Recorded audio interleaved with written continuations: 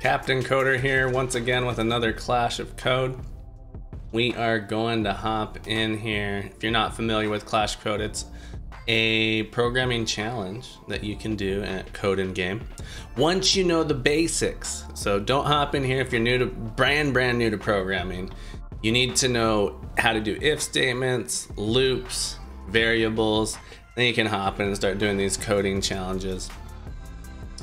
Um, anything past that is of course useful, specifically uh, string manipulations. Understanding how to do string manipulations uh, is super important as well. Um, arrays often come up in these, but these are 15 minute coding challenges where you're competing against eight other people. We have a fastest mode. There's three modes. Fastest mode is one where you get a problem statement and you have to come up with a solution as quickly as possible. We're going to take a little bit of time rather than running through it so I can talk through my process. Um, today we're gonna do one in Java. So we're gonna do it in Java. You can choose the programming language of your choice. I think there's like 20 in here, all of the most popular, Java, Python, JavaScript, C Sharp, even got some, some more obscure ones like Haskell. Do they have Haskell? Yeah, there it is, Haskell, Groovy, F Sharp, some of the more obscure ones. But we're gonna do Java today. Let me stop rambling. Let's read this question.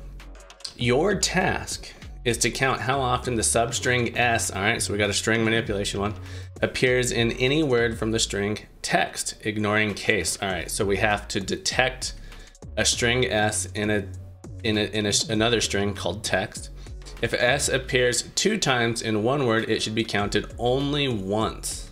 Task to count how often a substring s appears in any word from the substring text. If s appears two times in one word, it should only be count it should be counted only once. Okay, interesting. So we get two lines of input. So we have an input coming in. Sort of here's an example, but the the definition of the input is a string s is the first line. String that must be looked for in each word, and a string text the list of all words separated by a space. Okay, so we're gonna get um, the string that we're looking for with no spaces. I'm assuming it can't have spaces. Um, and down here we have some constraints that tell us that the length of S is at least one and less than 10. And the length of the text is at least one and less than 256. And we got to output a single integer value. So the number of times this word appeared as a substring in some of those words. If it appears multiple times in a in a single word, it we're, we're gonna we're only gonna count it once. All right. So we are going to have to loop through all of this individual words in text. All right. So it gives you a little starter code here. And then in each one of those we're going to check if it contains a case insensitive version of the input string right? Ignoring case. Okay. So Question is, how do we take our text, break it into chunks? I, I often call, what, what, would you call these? Um, I had the word on the tip of my tongue a second ago. Tokens. Sometimes you'd, you'd call it tokens. You're like, well, every every space is a token, or, or every word between each space is a token. So let's let's do that. Turns out, I believe, yep, there it is. There is a method attached to string split I'm gonna take this and let's look at the type. It's gonna return an array of strings. All right, splits this string around splits this string around matches of the given regular expression. So in this case, we're gonna say a single space. They might have said white space or something. You do some if you know regular expressions. And then this method works as if by invoking the two argument split method with the given expression and a limit argument of zero. All right, so we're gonna split on spaces to get all of our strings. I'm gonna call these tokens. You can call it words, whatever you whatever you want. And then we're gonna loop through all of them. We're gonna do a traditional for loop, and then we'll do it again with an enhanced for loop, often called the for each loop. For int i equals zero, i is less than tokens dot. And we're dealing with an array, so length is a property, not to be confused with strings length method, which would have parentheses at the end and then I++. Oh, doing, doing C style uh, there for a second. Java, we like our curly braces at the end. in C, C++, and C sharp, I believe we like our curly braces on the next line. I've been doing a lot of C sharp. Let's not get distracted. We, we, we don't have a lot of time. 10 minutes. All right. Now we got to check if our S is a substring within text. All right, so so there's a couple ways we could do this. If we know the API for string, we get, so let, first, first let's pull out tokens. Token equals tokens of i. So this is a single word that we're going to be looking at. And if we if we know our API, we can do token dot find or index of. Hmm. Let, us look it up real quick. Java string API. Got a couple different ones. I'm gonna try 11. It's a little bit newer. All right. I think there's an index of string. Returns the index within the string of the first occurrence of the specified substring. So if you know your API, we can do this relatively easy. So we're gonna do dot index of, and then our substring is s. All right. Is gonna tell us the index of, and if we read that documentation one more time, it tells us the return index is the smallest value k. If no such value of k exists, negative one was returned. So if, if this is negative one, that means we didn't find it. Otherwise, otherwise we need to increase a count. So this is an aggregate function, not function, aggregating loop. It's a loop that goes through and it's building up things. So we're gonna do a count. Our count's gonna start at zero. And then we have to write an if statement here that says, okay, well, if ix is greater than negative one, all right, so if we found a copy. Let's increase our count. Count plus plus, you could count equals count plus one, or count plus equals one. Doesn't matter too much. I think technically count plus plus might be, um, I think there's some weird thing where count plus plus could be faster in some situations. I don't think it matters. Anyway, count plus plus. All right, so then at the end of the day, we're gonna put our account here. And and this isn't done yet. I have a, I have a uh, logical issue here. Um, while I'm running these tests, see if you can see if you can figure out what it is. So I got my, test one done, easy done, substring and word done, upper and lower. Ooh, that's a good. That this test is named really well. This test is named really well. It's it's failing. We don't know what the inputs and outputs are, but Let's print them out real quick to see what they are. System dot out dot print. Uh, wait, wait, we should do system dot error. println. So on um, this is a little weird system to error to println. On CodinGame, if you use the error uh, stream instead of system.out, if you use system.error, it outputs the error string the error output and doesn't get counted towards your answer. So you can have some like print line debugging in here. I don't think they have like a full debugger. So this is essentially what you're stuck with. But we're gonna do S. So we know what our first line was. And then we can also know, and, and you probably already know what the answer is here. Um, but I wanna see, sometimes you're, you, if you're on a CodinGame puzzle, you're going like, well, what, what is my inputs and outputs. I don't see them here. I can't see them anywhere. So I'm gonna go ahead and do this thing, try again. Ah, so I have rage, all caps. Then I have rage, raging, and the rage here. And so what's happening is I forgot about case insensitivity. Okay. So there's, we, we want to this to work for case insensitive things. So we're gonna convert this to uh, to, what is it? Two lower case. Is that not? Okay, it did. It wasn't showing up in my autocomplete. That to lowercase. So if we make these both lowercase, it suddenly is gonna ignore that. Let's try it again. Play all of our test cases.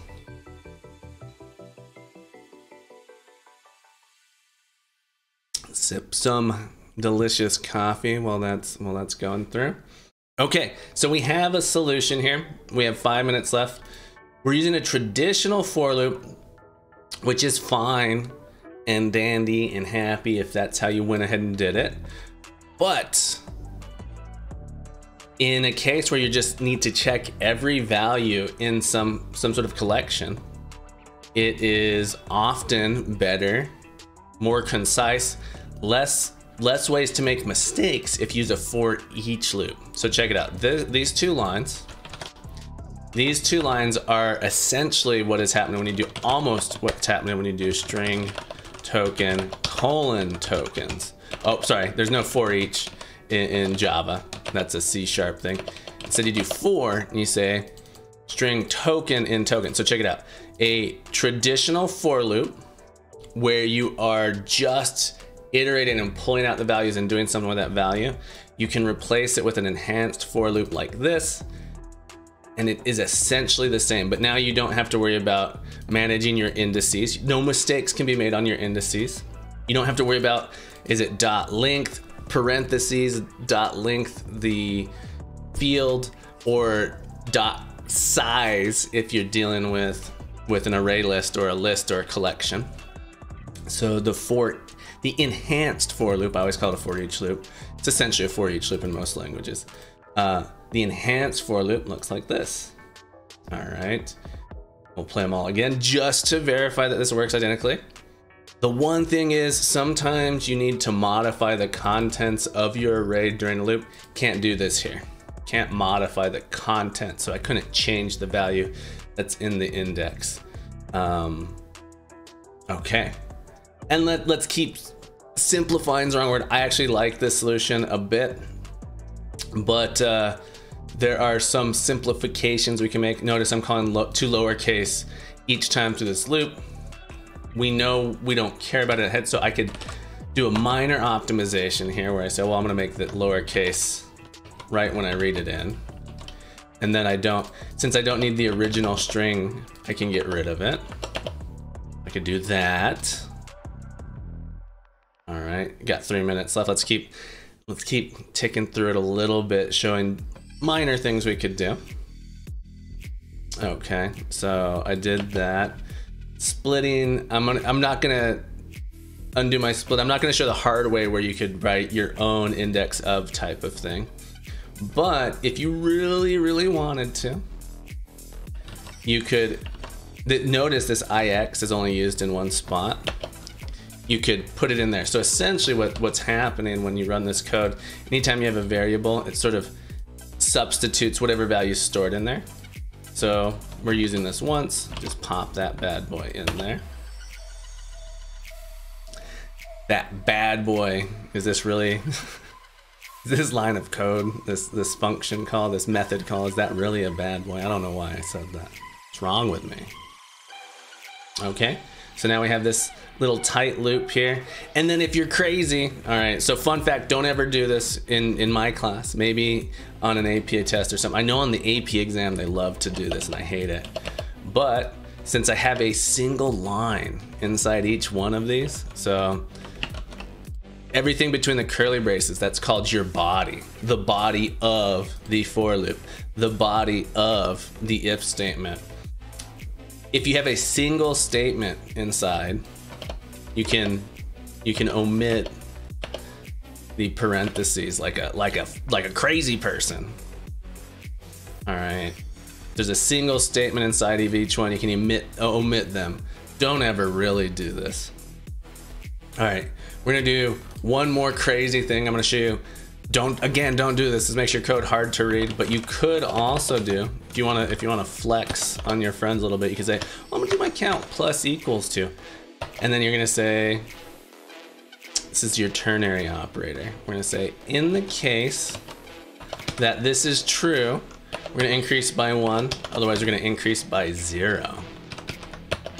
Okay. And we should still pass. So ternary operator is a Boolean expression on the left, question mark, and then a value uh, that you want when it's true and a value you want when it's false. So fun, fun little thing there to know if you hadn't seen that before. Now you have. Good to know. And if this was a question on an exam, can it save yourself a little bit of space. I prefer the version with the if statement a little bit, save us uh, some headache of trying to understand. Your brain doesn't always see this and understand. Right? All right, 30 seconds, better hit that submit button. And as always with Clash of Code, with anything on CodinGame, I love to share my code so other people can see it and learn from it. So not everyone was able to do this one. This one looked like it might have actually been hard for some people. So they could come back. So after the, after the 15 minutes expires, you get a little message saying what place you got, and you can come and you can look at other people's code who decided to submit it. Unfortunately, not a lot of people did. Um, so I'm glad I did. I thought this one was pretty fun. Go perfect difficulty for these. Not too hard, not too too too easy. The statement was pretty clear. There was um yeah, there was it said everything was I think it was it was fine. I was gonna say there was like maybe some some improvement to be possible, but it was very clear. The test cases were great. They had good naming to the test cases. It wasn't just test one, test two, test three. Actually said what the, it was testing and it it helped catch some bug for me. All right, we're gonna submit that. Real quick, we'll look at the Python solution this person came up with. In Python, same thing. They say first, I'm gonna convert these to lower since I need to be case sensitive. I hate their variable name X here. It's not very descriptive, but in, in, in the code that I wrote, it would have been count. They're looping through each uh, index. Interesting input. Oh, they're split. Okay, they split it first up here. They split it first up here. Ah, that, that's that's a way to do it because they know that they're not going to need the original text anyway. And this i this is this is interesting. i is still an index, and then if s is in that string.